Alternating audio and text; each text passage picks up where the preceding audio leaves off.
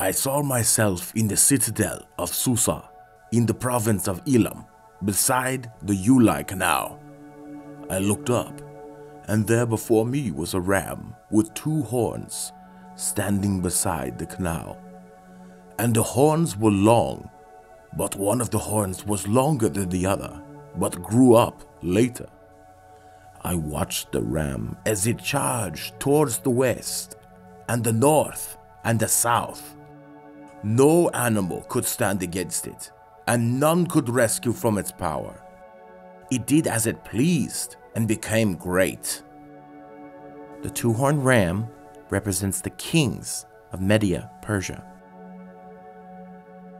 As I was thinking about this, suddenly a goat with a prominent horn between its eyes came from the west, crossing the whole earth without touching the ground.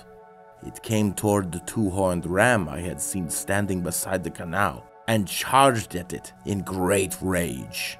I saw it attack the ram furiously, striking the ram and shattering its two horns. The ram was powerless to stand against it. The goat knocked it to the ground and trampled on it, and none could rescue the ram from its power. The shaggy goat is the king of Yavan, and the large horn between its eyes is the first king. The goat became very great, but at the height of its power, the large horn was broken off, and in its place, four prominent horns grew up toward the four winds of heaven.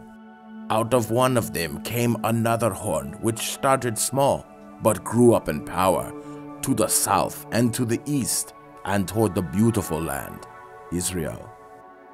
The four horns that replace the one that was broken off represent the four kingdoms that will emerge from his nation, but will not have the same power.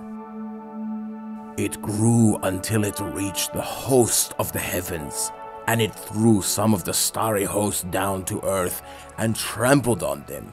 It set itself up to be as great as the commander of the army of the Lord. It took away the daily sacrifice from the Lord, and his sanctuary was thrown down.